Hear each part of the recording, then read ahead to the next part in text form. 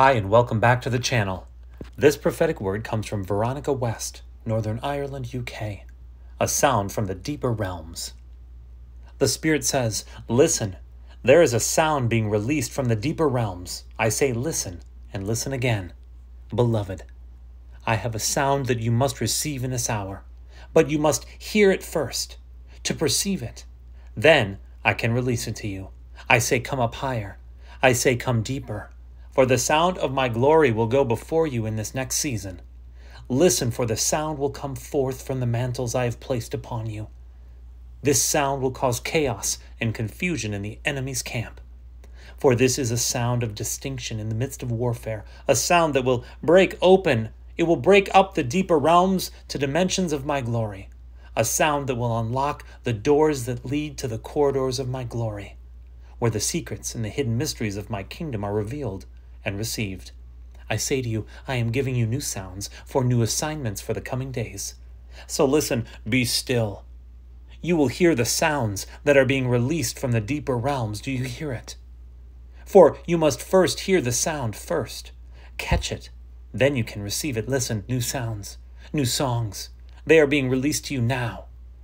I say that sounds that I am releasing to you in this hour will align they will set in place new structures, new systems of operation that will bring forth the strategies for victory and freedom. For I am resetting and resynchronizing your spiritual senses for you to hear in a new way, see in a new way, move in a new way, for the sound I am putting within you will bring forth a new movement in the earth that will cause the kingdoms of this world to be shaken loose and overthrown.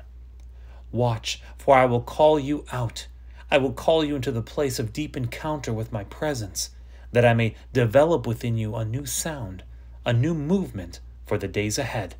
I say, let the sounds within you collide.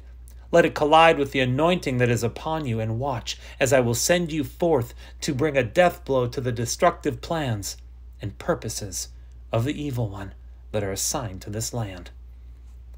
Hallelujah. Friend, let's pray into this word right now. Lord Jesus, we do. We accept your invitation to come up higher, to come deeper. Lord, we lift up a sound to you, a sound of praise, a sound of our prayer language, a sound of honor and worship to you. Let our faith, let our faith be seen as a worthy sacrifice, a pleasing aroma that drifts up to you, Father.